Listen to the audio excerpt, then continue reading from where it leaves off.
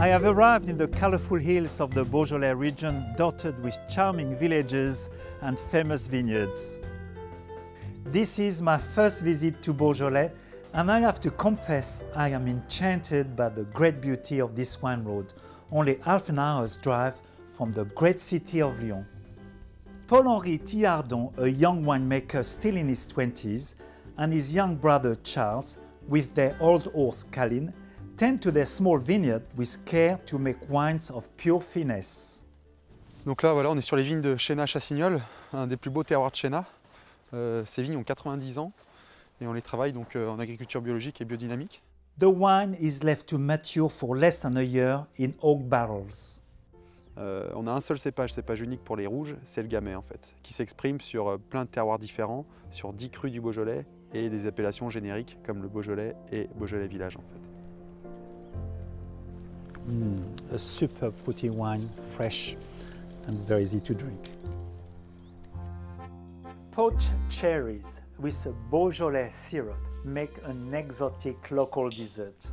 First, I pour 600 milliliters of Beaujolais wine into a saucepan with 80 grams of sugar, half a vanilla pod, a small piece of cinnamon stick, three crushed black peppercorns, a small slice of ginger, and the peel of half an orange and half a lemon.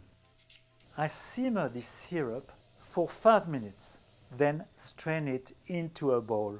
Then I return the wine syrup without the spices to the saucepan, add 600 grams of pitted cherries, bring to a simmer and simmer for 3 minutes. The poaching process is very delicate and I only poach the cherries for a few minutes. I serve the cold cherries and syrup in a bowl. I love this soup aux cerises au Beaujolais, sprinkled with flaked almonds and dusted with icing sugar. The village of Vaux-en-Beaujolais at the center of the wine road is the home of the excellent restaurant L'Auberge de Clochemerle.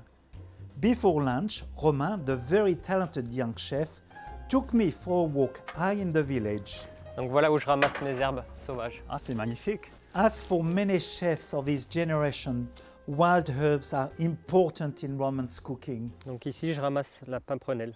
Dans quel plat tu l'utilises? En ce moment avec le pigeon. Eating at this charming restaurant is a happy adventure. There are no written menus. Guests only choose a menu price, then from a list of ingredients, they can tell if they are foods they can't or don't wish to eat. Alors, à l'auberge de Clochemerle, on propose trois menus surprises que l'on compose à l'instant en fonction des produits de saison et de ce que les producteurs nous amènent. His spring dish of local pigeon and green asparagus garnished with burnet leaves is beautiful. Delphine matches the dish with a superb gamay made by Paul-Henri and a dessert of very sweet strawberries with little sticks of hazelnut meringue is the perfect finish. I wish I could stay in Beaujolais longer, but the tour must go on. Tomorrow I am in the Alps and I visit a fromagerie that makes one of my all-time favorite cheese.